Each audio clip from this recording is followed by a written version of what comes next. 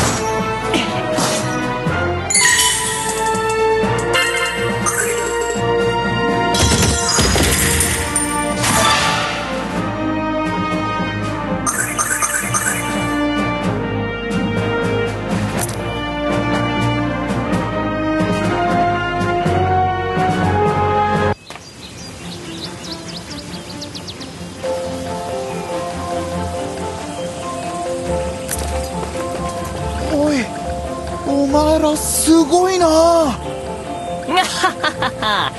注目の新鋭白狼だからな。そうか。お前たちの活躍ぶりをあちこちに伝えてやるよ。おお世界中に広げてくれ。って後ろの人たちは誰だ？ああこいつらか。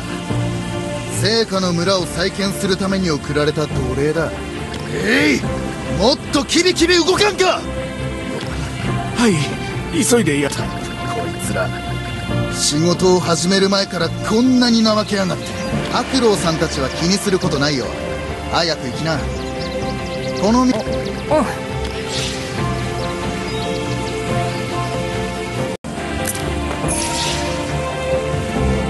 そんなバカな聖火城。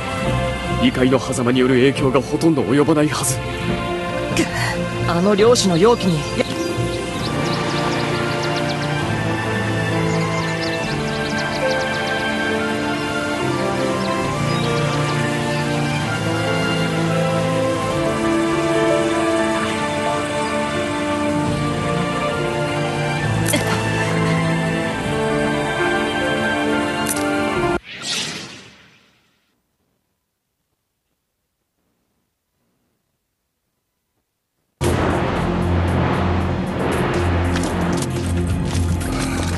力がより強まったぞ。あいつら一体何者なの？あと数十人の霊気を確保しさえすれば超越の体になれるのね。アントラお前の話信じていいのだな。超越の体になって黒い魔石の力を受け入れれば大量の魔物を呼び出して操ることができる魔王になれると当たり前でしょ？何をそんなに心配しているの？もうすぐ魔物の軍隊を率いるあなたの時代が来るのよ。そうだな。すでに何らかの力が感じられる。あの時もこんな力を持っていたなら村の人々を守ることができたの。にお天国まくり天我が友よ。もうすぐ我が決起門の念願が叶うぞ。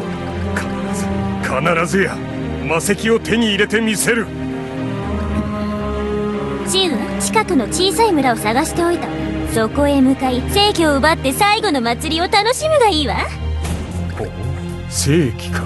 女もいるだろうな。そうだ。祭り。祭りだ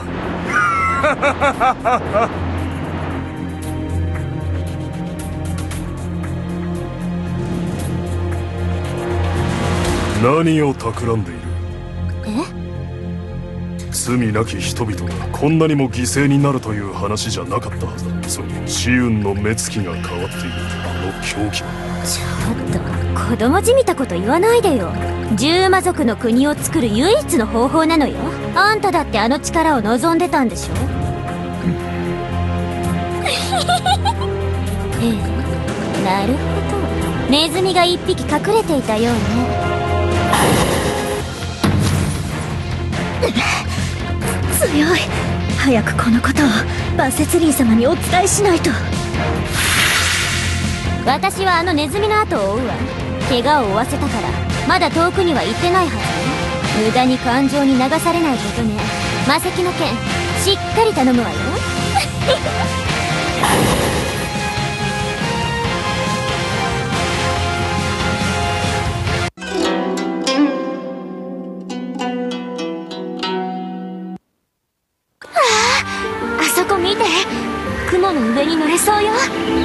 クレア気をつけてください。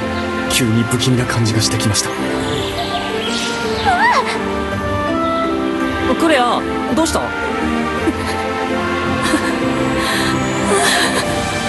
助けて。えちょちょっと。